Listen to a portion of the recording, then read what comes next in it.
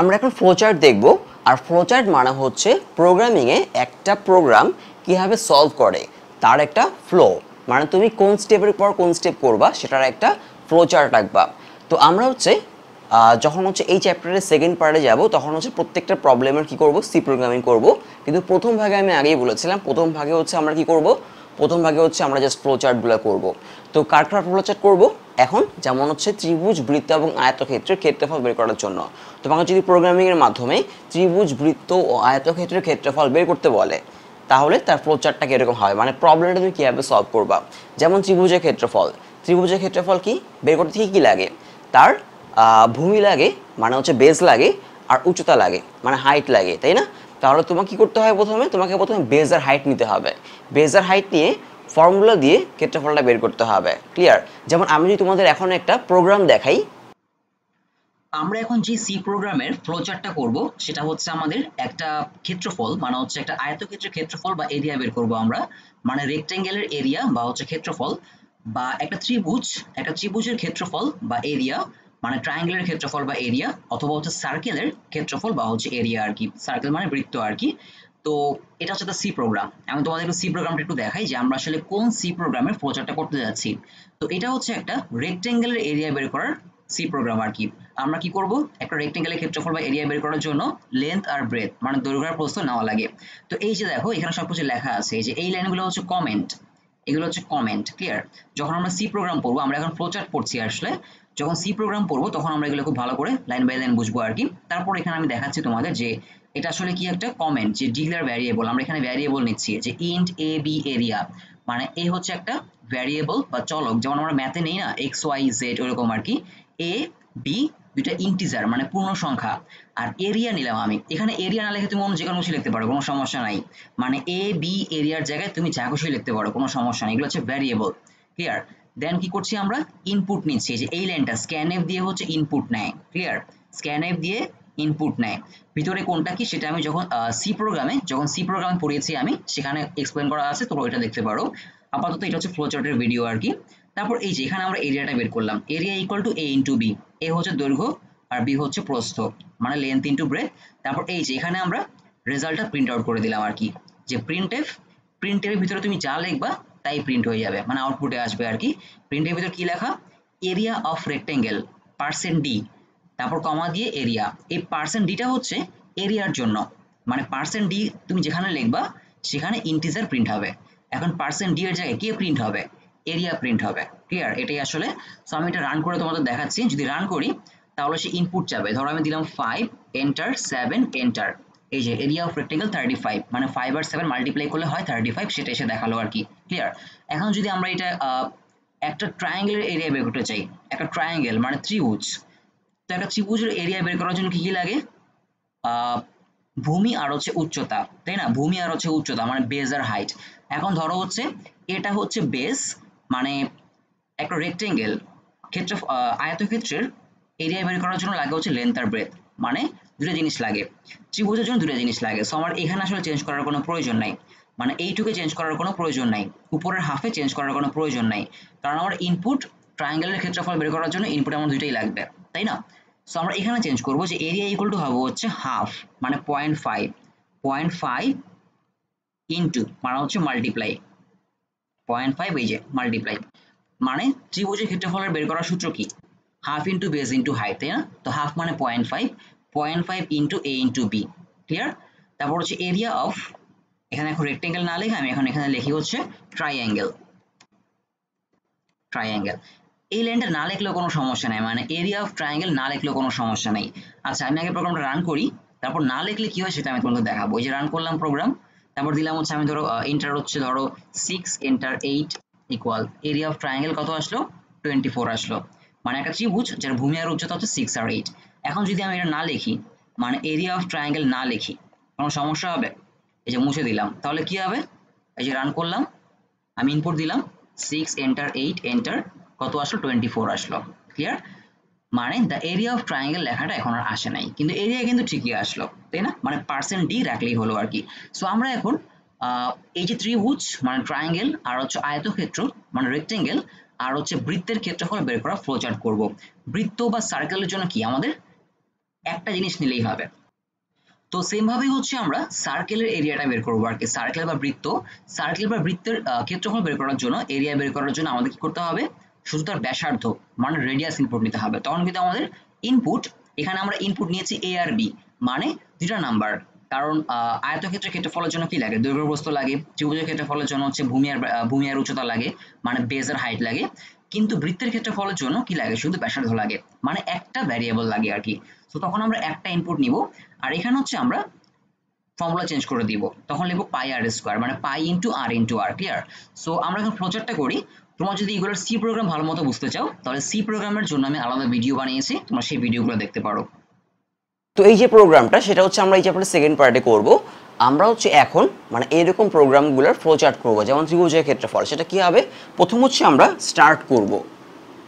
এরকম একটা দাগ দিয়ে, গোল দাগ দিয়ে হচ্ছে স্টার্ট করে। স্টার্ট স্টার্টের জন্য হচ্ছে এরকম একটা সার্কেল দাগ দিতে হবে। এরপর হচ্ছে আমরা ইনপুট নিব। প্রোগ্রাম স্টার্ট করলাম, এরপর হচ্ছে ইনপুট নিব। একটা ত্রিভুজের ক্ষেত্রফল বের করার জন্য কী কী লাগে? লাগে হচ্ছে ভূমি মানে হচ্ছে বেস আর উচ্চতা মানে হাইট এছাড়া তুমি একটা ত্রিভুজের তিনটা বাহু মানে তিনটা সাইড দিয়েও কি করা যাবে? তার ক্ষেত্রফল বের করা যায় কিন্তু। কিন্তু আমরা হচ্ছে দৈর্ঘ্য উচ্চতা দিয়েই করব। তাহলে আমি ইনপুট নিলাম। এখন ইনপুট নেওয়ার জন্য হচ্ছে এই যে, এরকম দাগ দিতে হবে। ইনপুট এটা হচ্ছে আমি ইনপুট নিলাম আর কি। ক্লিয়ার এখন হচ্ছে ইনপুট ইনপুট তুমি তোমার ইচ্ছা মতো এ বি নিতে পারো এ বি এ বি যেমন আমি একটু আগে যে প্রোগ্রামটা দেখালাম, সেখানে কি করলাম আমি? দুইটা নাম্বার ইনপুট নিলাম, তাই না? দুইটা নাম্বার একটা হচ্ছে বেস একটা হচ্ছে হাইট কোনটা বেস কোনটা হাইট সেটা কিন্তু আমি বলে দিয়েছি, তাই না? তো এখানে আমাদের বেস আর হাইট দুইটা নাম্বার ইনপুট নিব, এই যে এ আর বি হচ্ছে দুটো নাম্বার একটা নাম্বার যেটা আসবে সেটা এর মধ্যে যাবে আর একটা নাম্বার সেটা বি এর মধ্যে যাবে। ক্লিয়ার একটা বেস একটা হাইট যখন প্রোগ্রাম করব তখন আমরা হচ্ছে বলে দিব কোনটা বেস কোনটা হাইট ক্লিয়ার ইনপুট নেওয়ার সময়। এখন কি করব আমরা? যেহেতু একটা বেস অ্যারো চিহ্ন দেওয়া লাগবে এখানে। অবশ্যই অ্যারো চিহ্ন যেতে হবে যে কোন দিকে গেল। অনেক সময় ফ্লোচার ডানে বায়ও যেতে পারে ক্লিয়ার ইনপুট এবি নিলাম। এখন হচ্ছে কি করতে হবে? ত্রিভুজের ক্ষেত্রে ফল বের করার মানে ট্রায়াঙ্গেলের এরিয়া বের করার ফর্মুলা কি? Half into base into height তাই না? তাহলে জাস্ট হচ্ছে এই যে, একটা চারকোনা দাগ মানে হচ্ছে আয়তক্ষেত্র বা রেক্ট্যাঙ্গেল যখন কোনো কিছু হিসাব করবা মানে হচ্ছে প্রসেস এটাকে বলে প্রসেস এটা হচ্ছে input clear start input process clear যেখানে আমরা কাজটা মেন কাজটা করছি। তাহলে আমি লিখলাম area area equal to half হাফের জায়গায় তুমি পয়েন্ট ফাইভও লিখতে পারো। Point five into A into হচ্ছে বি তাহলে half into base into area half into base into height মানে ত্রিভুজের ক্ষেত্রফল। ত্রিভুজের ক্ষেত্রফলটা হচ্ছে এরিয়ার মধ্যে আছে। এখানে যে এরিয়াই লিখতে হবে আমার কোনো কথা নেই কিন্তু, এটা হচ্ছে একটা ভ্যারিয়েবল মানে চলক। এখানে তুমি চাইলে অন্য কিছু লিখতে পারো। এস তোমার ইচ্ছা মতো একটা কিছু লিখতে পারো। একটু আগে প্রোগ্রামটা করেছিলাম, সেখানে কিন্তু আমি এরিয়া নিয়েছিলাম আর কি। যাই হোক, এখন হচ্ছে তুমি তোমার এখানে ইচ্ছা মতো যেন নিতে পারো আর কি। তার মানে ক্ষেত্রফলটা এই এসের মধ্যে আছে। তুমি এখানে জানি বা এই ক্ষেত্রফলটা বা এরিয়াটা এসের মধ্যে আছে। এখন এসটাকে তুমি আউটপুট দিয়ে দিবা। মানে সবাইকে জানাই দিবা। এস এর ভ্যালুটা কত সেটা সবাইকে জানাই দিবা আউটপুট যেটাকে বলে। তাহলে হচ্ছে আউটপুটের জন্য হচ্ছে আবার এই যে এরকম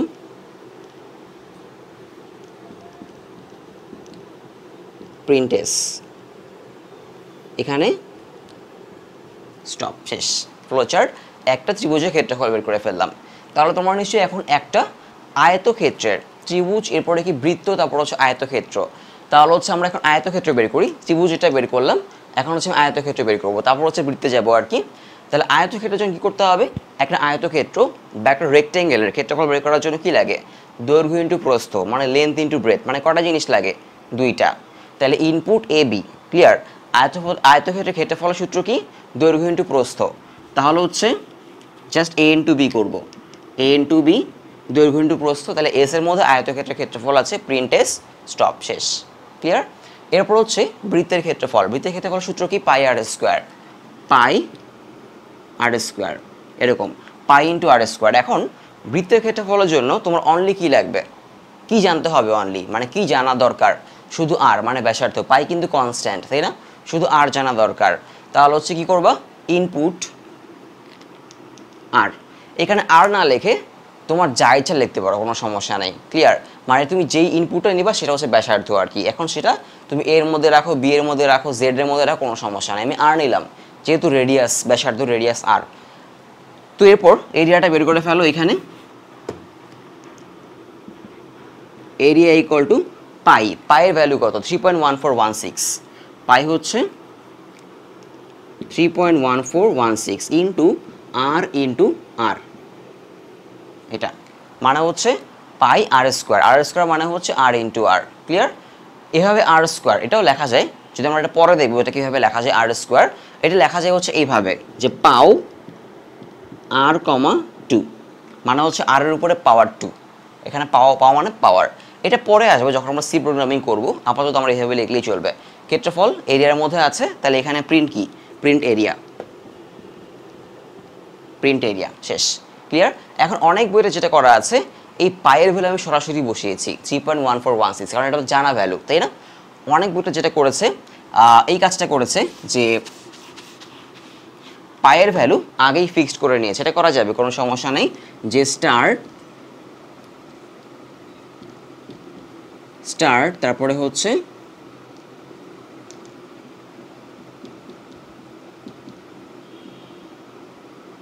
এই যে পায়ের মধ্যে three point one four one six রেখে নিয়েছে। তার মানে পিআই পাই এটার ভ্যালু হচ্ছে three point one four one six তারপরে হচ্ছে